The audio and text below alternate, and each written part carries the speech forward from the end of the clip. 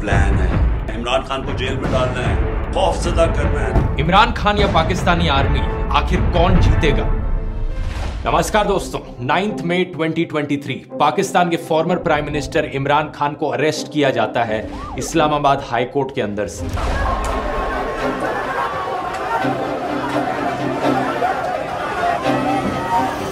इसके कुछ ही घंटे बाद देश भर में लोग सड़कों पर उतर जाते हैं प्रोटेस्ट करने के लिए। ये भारी प्रोटेस्ट कुछ जगहों पर दंगों में बदल जाते हैं। वायलेंस होता है। 2000 से ज़्यादा लोगों को अरेस्ट किया जाता है। इमरान खान सीधा उंगली उठाते हैं पाकिस्तान की आर्मी के ऊपर और इसीलिए कुछ ऐतिहासिक दृश्य हमें देखने को मिलते हैं प्रोटेस्ट के दौरान। पहली बार पाकिस्तान में कुछ आम लोग मिलिट्री के खिलाफ ओपनली लड़ने लग जाते हैं। कहा था इमरान खान को ना छेड़ना, सर? सर आपको कहा था इमरान खान को ना छेड़ना। कहा जा रहा है पाकिस्तान में इतनी इंस्टेबिलिटी शायद ही देखने को मिली है पिछले कई दशकों से। इसे पाकिस्तान की बिगेस्ट क्राइसिस बताया जा रहा है 1971 के बाद से। आइए समझने की कोशिश करते हैं आज के इस वीडियो में।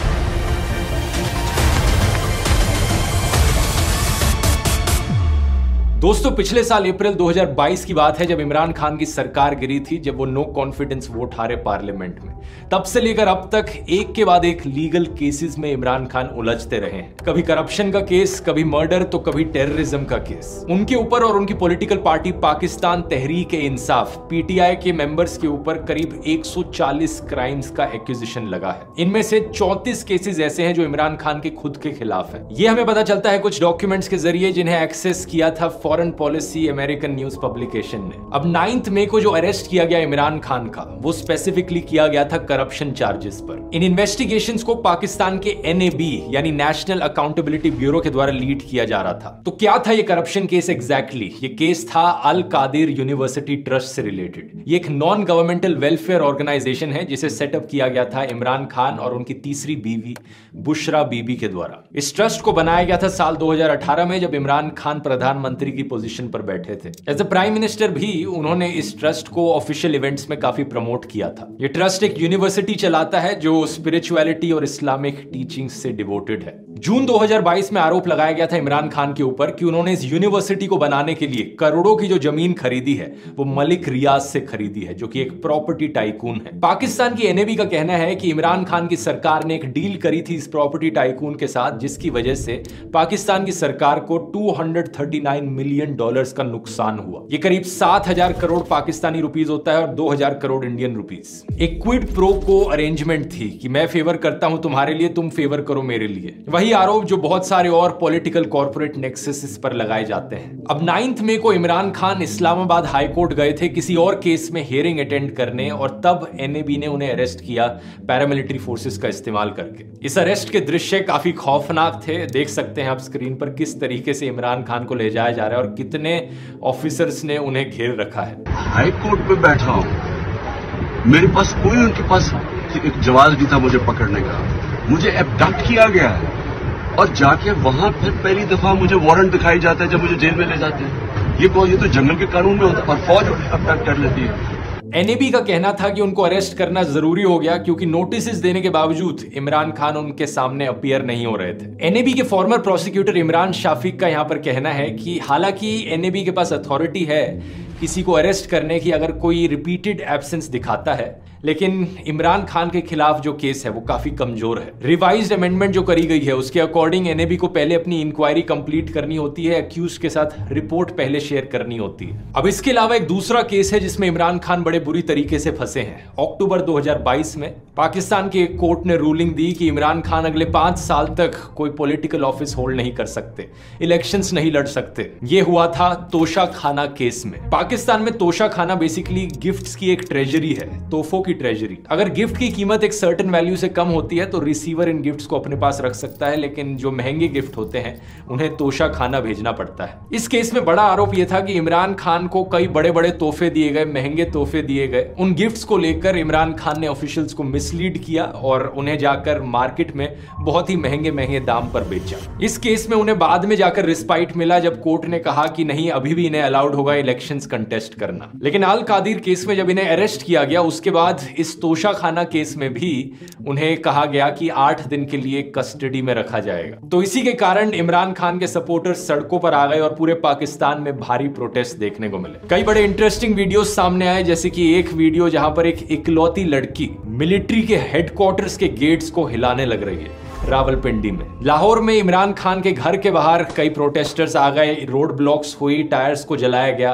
पुलिस ने वाटर कैनन्स का इस्तेमाल किया और कई केसेस में टीयर गैस भी इस्तेमाल करी गई। पाकिस्तान के जो करंट प्राइम मिनिस्टर हैं, शहबाज शरीफ, उन्होंने वार्न किया कि वायलेंट प्रोटेस्ट को टॉलरेट नहीं किया जाएगा। कई इमरान खान के सपोर्टर्स ने गाड़ियों पर भी आग लगाई और करंट प्राइम मिनिस्टर के घर पर पेट्रोल बॉम्ब भी फेंके गए। पाकिस्तान की आर्मी ने स्टेटमेंट दिया कि इन प्रोटेस्ट के दिन को एक डार्क चैप्टर की तरह याद किया जाएगा। जाएगा पाकिस्तान के इतिहास में। इंटरनेशनल रिएक्शंस की बात करें तो यूके के प्रधानमंत्री ऋषि सुनक ने इसे पाकिस्तान का इंटरनल मैटर बताया। लेकिन दूसरी तरफ़ जो ऑपोजिशन लीडर है यूके में जेरेमी कॉर्बिन उन्होंने कंडेम किया है इमरान खान के अरेस्ट को। अमेरिका और कैनेडा जैसे देशों ने कोई साइड नहीं ली है यहाँ पर, बल्कि ट्रैवल एडवाइजरीज बस इशू करी है अपने सिटीजन को कि पाकिस्तान जाना सेफ़ नहीं है। एक फ़ेमस ह्यूमन राइट्स की इंटरनेशनल ऑर्गेनाइजेशन एमनेस्टी इंटरनेशनल ने बड़े स्ट्रांगली कंडेम किया है पाकिस्तान में जो हो रहा है स्पेशली जो इंटरनेट को ब्लॉक किया गया। कई सोशल मीडिया वेबसाइट्स की एक्सेस को कट ऑफ़ किया गया और पूरे देश भर में इंटरनेट पर पाबंदी लगाई गई, जिसकी वजह से बहुत से आम लोगों को नुकसान सहना पड़ा। अब बात यह है, दोस्तों, ये पॉलिटिकल क्राइसिस इकलौती क्राइसिस नहीं है जो पाकिस्तान फेस कर रहा है, बल्कि इकोनॉमिक क्राइसिस भी भयंकर तरीके से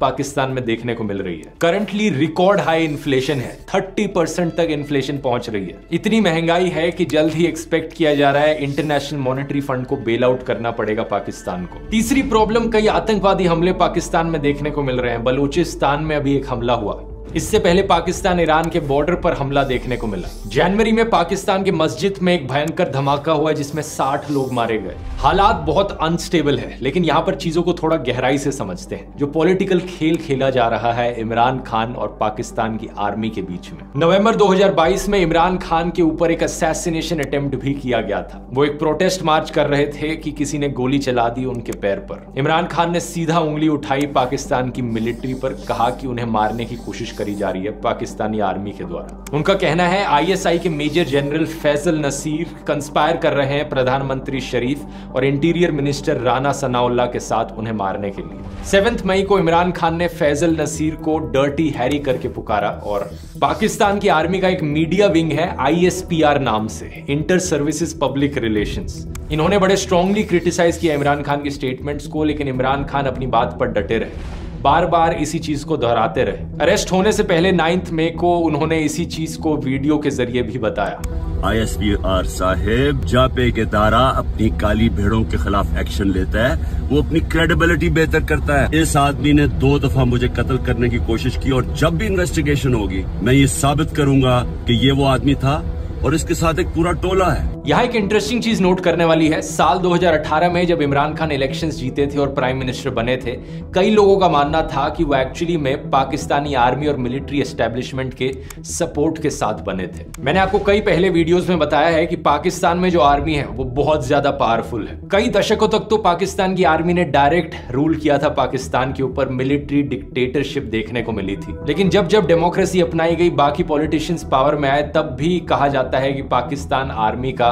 एक इनडायरेक्ट कंट्रोल रहता था सरकार पर। पाकिस्तान की आर्मी सिर्फ़ देश की पॉलिटिक्स पर ही एक हैवी कंट्रोल नहीं जमाती, बल्कि उनका हाथ बिज़नेस की फ़ील्ड में भी बहुत है। They are Pakistan largest military like largest corporation as well industrial corporation आपके घर में सीमेंट जो है वो फौजी सीमेंट का लगा it was like funny way to tell people that military is doing business कहा जाता है कि पाकिस्तान की मिलिट्री 2018 के समय में एक नई चेहरे की तलाश में थी और उन्हें ये नया चेहरा मिला इमरान खान के फॉर्म में। यही कारण है कि पहले कुछ सालों में इमरान खान ने कई प्रो मिलिट्री पॉलिसीज़ भी पास करी। कई मिलिट्री जनरल्स को सरकार के इंपॉर्टेंट पार्ट्स दिए गए कंट्रोल करने के लिए। मीडिया पर एक टाइट कंट्रोल था। इमरान खान के जो ओपोनेंट्स थे, उन पर एक हैवी क्रैकडाउन देखने को मिला और कई ऑपोजिशन लीडर्स को जेल में भी बंद किया गया। लेकिन टाइम के साथ साथ कहा जाता है कि इमरान खान ने अपनी फेवरेबल पोजीशन खो दी मिलिट्री के सामने, जब वो नो कॉन्फिडेंस वोट हारे पिछले साल। तब से ही इमरान खान मिलिट्री के ओपनली अगेंस्ट रहे हैं और जब रिसेंट असैसिनेशन अटेम्प्ट उन पर हुआ, तब से तो डायरेक्टली उंगली उठाते हैं पाकिस्तान की आर्मी पर, कहते हैं कि यही उन्हें मरवाने की कोशिश कर रहे हैं।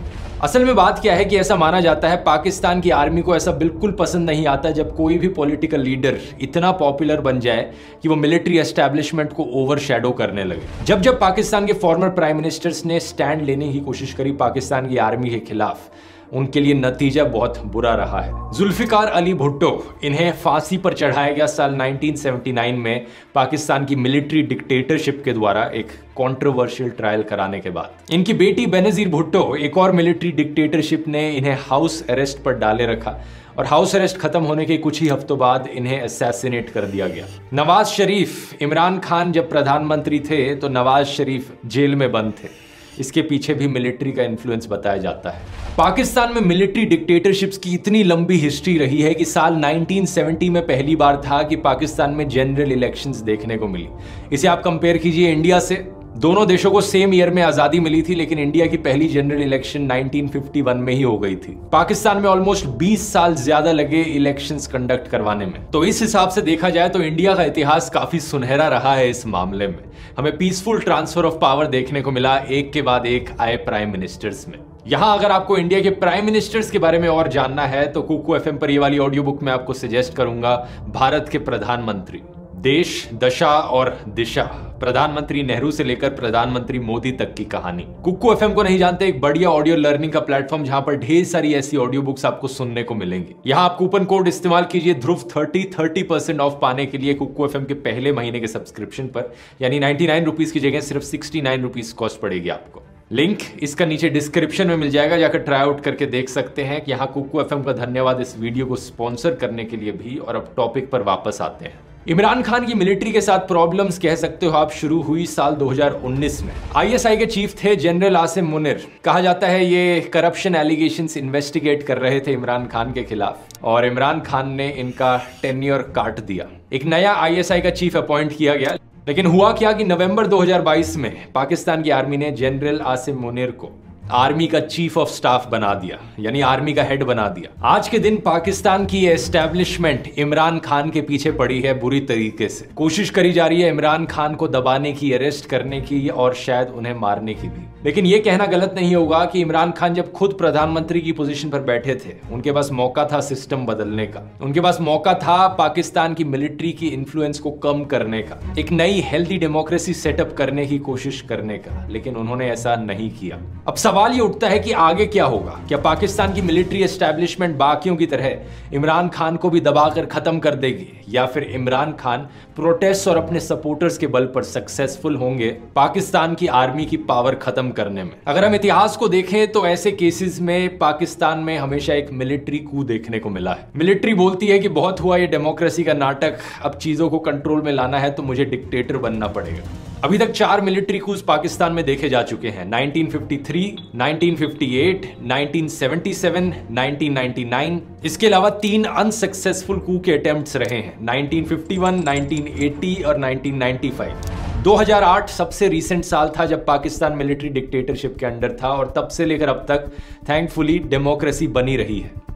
आज जो प्रोटेस्ट हो रहे हैं पाकिस्तान में, इसमें यह चीज़ भी डिनाई नहीं करी जा सकती कि यह पहली बार है कि आम जनता में इतना गुस्सा देखने को मिला है पाकिस्तान की मिलिट्री के खिलाफ। और इमरान खान की ज़बरदस्त पॉपुलैरिटी एक और कारण बताया जाता है कि मिलिट्री की ताकत अब शायद उतनी स्ट्रांग ना हो जितनी पहले थी। इमरान खान के पॉलिटिकल करियर के अलावा उनकी पॉपुलैरिटी के पीछे एक और बड़ा कारण है, जब वो क्रिकेट प्लेयर थे, उन्होंने पाकिस्तान को वर्ल्ड कप जिताया था। सिर्फ़ एक ही बारी पाकिस्तान आज तक वर्ल्ड कप जीता है क्रिकेट में, और वो तब था जब इमरान खान क्रिकेट क्रिकेटर थे इसलिए कहा जाता है कि अगर अब मिलिट्री को अटेम्प्ट किया गया पाकिस्तान की मिलिट्री के द्वारा तो जनता की तरफ़ से जो रिस्पॉन्स होगा वो और भी ज़्यादा स्ट्रांग हो सकता है दूसरी तरफ़ अगर मिलिट्री को नहीं किया गया और इलेक्शंस करवाई जाती हैं तो कई एक्सपर्ट्स का मानना है कि ऑब्वियसली इमरान खान इन इलेक्शंस को जीतेंगे Because I knew I was saved. And what about now? I mean, are you are you scared? Well, uh, I mean, uh, the threat of uh, assassination is is probably even more now than before because the three people who I knew were responsible for this, they're still sitting in power. And they're probably more worried now than ever before because all indications are that whenever are elections, my party is going to sweep the elections. और ऐसा होगा तो elections जीतने के बाद वो क्या करते हैं ये चीज़ भी बड़ी दिलचस्प होगी देखनी लेकिन अगर वो इलेक्शंस नहीं जीतते या फिर इलेक्शंस में कुछ छेड़छाड़ करी जाती है या मिलिट्री कू करने की कोशिश करी जाती है तो पाकिस्तान की स्टेबिलिटी के लिए ये बिल्कुल भी अच्छा नहीं होगा आने वाले दिनों में कई लोगों ने ऑलरेडी अर्ली इलेक्शंस की डिमांड करनी शुरू कर दी है। अभी के लिए इलेक्शंस प्लान करी गई हैं अक्टूबर 2023 में होंगी। अभी के अरेस्ट की बात करी जाए तो इमरान खान को फाइनली राहत मिली पाकिस्तान के सुप्रीम कोर्ट से। सुप्रीम कोर्ट ने इनके अरेस्ट को इलीगल ठहराया और इसकी वजह से 12 मई को इन्हें बेल पर रिहा कर दिया गया। इसकी वजह से अभी के लिए प्रोटेस्ट काफ़ी हद तक कम हो गए हैं और जश्न में बदल गए लोग सड़कों पर सेलिब्रेट कर रहे हैं और अब देखना होगा कि आगे क्या होता है। वीडियो पसंद आया तो यहाँ क्लिक करके 1971 वॉर वाला वीडियो देख सकते हैं, जिसमें मैंने पाकिस्तान और बांग्लादेश का इतिहास डिटेल में समझाया है। एग्जैक्टली exactly क्या कारण था कि पाकिस्तान में मिलिट्री इतनी पावरफुल बन पाई और क्या कारण कि पाकिस्तान का बंटवारा हुआ और बांग्लादेश का जन्म हुआ? इस वीडियो में सब समझ सकते हैं। बहुत बहुत धन्यवाद।